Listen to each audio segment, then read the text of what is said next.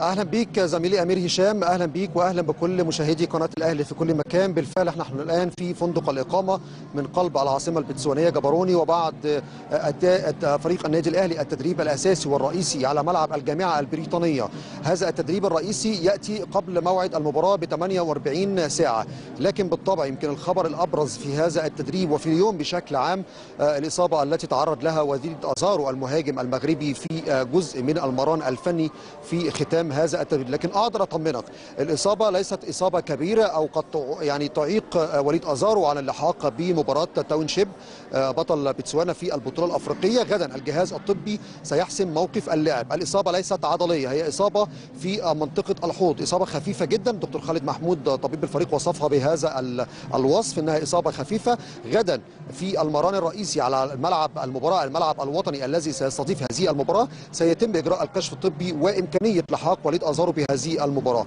أيضا الجهاز الفني كان خلاص في الجزء الأخير من المران أو يعتبر أنهى التدريب بشكل جيد جدا فبالتالي فضل عدم يعني إن هو يعني يعطي جرعات تدريبية أكثر من ذلك خوفا من تعرض أي من اللاعبين للإصابة بعد تعرض وليد ازارو لإصابة في الجزء الأخير. وبالتالي الحمد لله المران انتهى بشكل جيد. الجهاز الفني يعني طبق الفكر الفني في هذا التدريب لمباراة تاونشيب والطريقة اللي ممكن الاهلي يلعب بيها مباراة تاونشيب لكن بشكل عام هي الإصابة التي تعرض لها وليد ازارو يعني جعلت الجهاز الفني يفضل عدم إقامة أي مران فني أو يكتفي بهذا القدر خاصة إنه خلاص يعني اكتفى الجهاز الفني بما قدمه في هذا التدريب وما عمله اللاعبون في هذا التدريب من تدريبات بدنية وتدريبات فنية وتسديد على المرمى وأيضا كمان تدريب حراس المرمى في الجزء الأول من المران. النهارده صباحا يمكن الجهاز أو تحديدا الكابتن محمد يوسف والكابتن سمير عدلي توجها إلى مقر إقامة فريق تاون شيب وتحديدا كان هناك لقاء مع رئيس النادي هو هندي الجنسية رئيس نادي تاون شيب البتسواني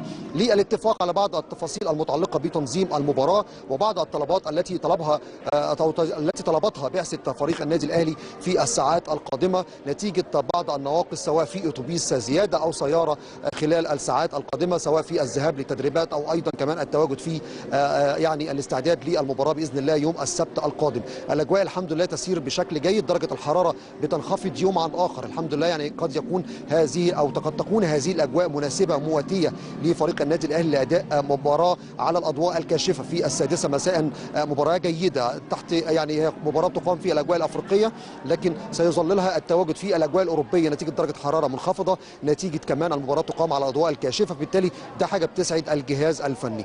بعد المران مباشرة الفريق بعد ما وصل لفندق الإقامة في مران استشفاء يعني مختص ثلجي لعدد من اللاعبين في داخل فندق الإقامة. بالإضافة إلى ذلك الجهاز الفني فضل عدم إقامة أي محاضرات فنية اليوم عشان يعطي اللاعبين فرصة للتواجد في الغرف أو في فك عضلات لكن فكر إن اللعيبة تتحرك ويكون في مران مشي خفيف ببهو الفندق وبجوار الفندق. وكان هناك مداعبات وحالة من المرح بين اللاعبين في صباح هذا اليوم لدرجة أن عم حارس حتى كمان عامل غرفة الملابس يعني التقط العديد من الصور التذكارية والسيلفي مع عدد من اللاعبين أبرزهم شريف اكرامي الحمد لله حتى هذه اللحظات الأمور تسير بشكل جيد يتبقى فقط غدا بإذن الله. سنعلم يعني موعد الاجتماع الفني وما هي الترتيبات في هذا الاجتماع. أيضا المؤتمر الصحفي وتصريحات المدير الفني الصربي لفريق تاون شيب وأيضا تصريحات باتريس كارتيرون المدير الفني لفريق النادي الأهلي. وسيحضر معه في هذا المؤتمر أحد لاعبي الفريق. ثم المران في المساء في السادسة مساء بحضور وسائل الاعلام في أول ربع ساعة من التدريب.